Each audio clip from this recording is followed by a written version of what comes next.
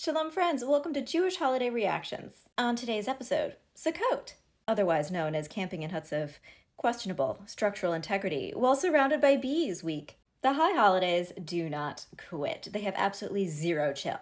Although, of course, you can certainly catch a chill on Sukkot, depending on where you live. Because during the holiday, Jews are supposed to leave our permanent homes, go outside, and camp in a sukkah.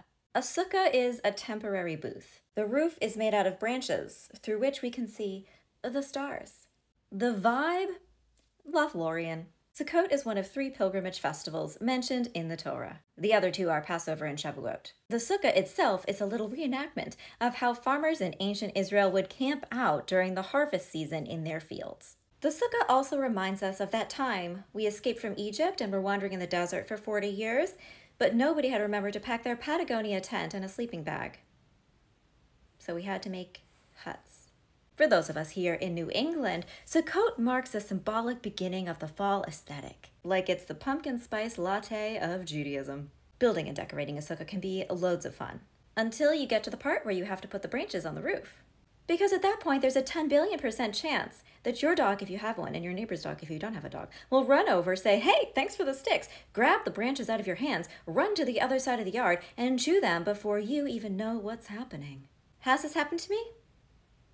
I don't even know how many times. Once they have built and decorated their sukkah, Jews are supposed to spend as much time as possible in it. For example, that means eating all meals there.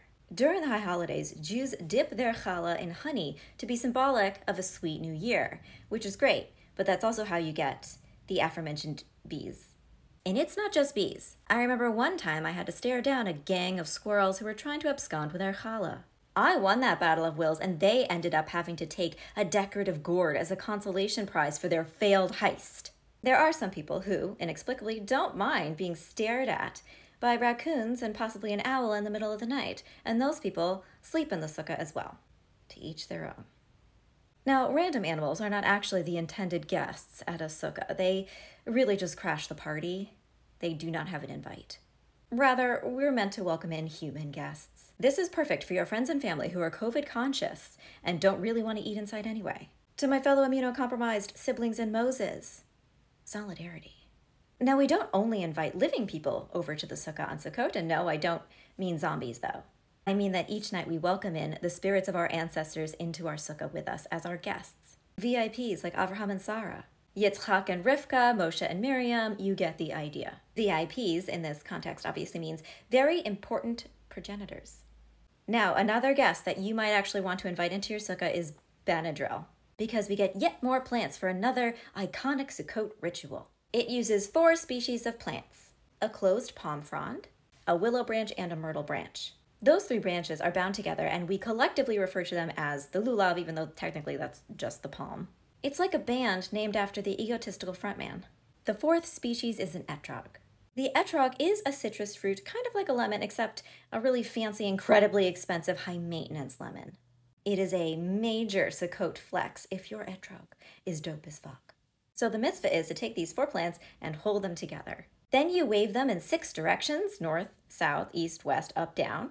The trick here is to somehow do this without accidentally shanking somebody in the eye with the palm frond because that thing is hella sharp. There are many things represented by the four species etrog as heart, palm as spine, myrtle as eyes, willow as lips. There's also an idea that the four species correspond to the Tetragrammaton, the incredibly powerful four letter name of God that we cannot say, except really important people like the Baal Shem Tov, who used the Tetragrammaton to teleport and, occasionally, battle sorcerers. Like you do. But yeah, he was an outlier.